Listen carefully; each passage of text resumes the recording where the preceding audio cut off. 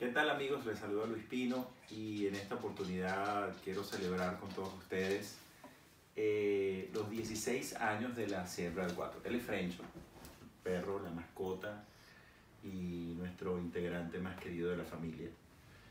Em, y bueno, pues nos está acompañando en esta, en esta aventura ahora desde la casa, música desde la casa. Es lo que, lo que tenemos ahora la posibilidad de hacer por lo menos esta temporada, mientras toda esta este, este episodio de salud que tenemos eh, en este momento mundialmente, pues va pasando. Eh, entre tanto, pues hacer mucho trabajo de introspección, de, de cariño, de amor con uno mismo y con, con, los de la casa.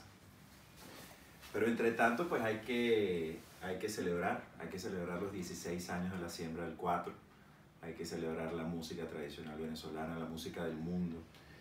Y, y bueno, pues nada, siempre un mensaje de, de amor, de cariño, de fraternal, de un abrazo enorme al querido maestro Che Hurtado por estos 16 años de siembra, por esa labor tan hermosa que nos ha dejado tanto, por las lecciones de vida que en, en este tiempo hemos recibido y pues yo creo que esa felicitación se extiende a todas las agrupaciones, el C4 Trío, el WhatsApp 4, Miguel Ciso, los ganadores, este, los que hemos participado durante tanto tiempo en esta propuesta maravillosa, en este programa cultural que es la Siembra del 4.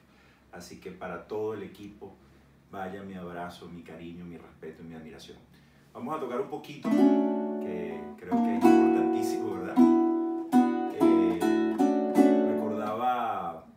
carnaval que grabó el Quinteto Contrapunto, agrupación maravillosa desde hace muchos años de trabajo también, de trabajo vocal excepcional, eh, de la mano de Rafael Suárez, de eh, Morela Muñoz, de, de, Sevillano, Domingo Mendoza, creo que se me escapa, Oristela Guanche, creo también, eran los integrantes de este quinteto.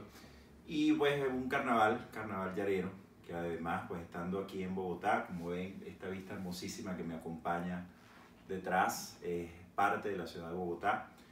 Eh, pues nada, aquí compartimos ese joropo, ese joropo entre los llanos orientales de Colombia y los llanos venezolanos. Así que para todos ustedes un carnaval llanero.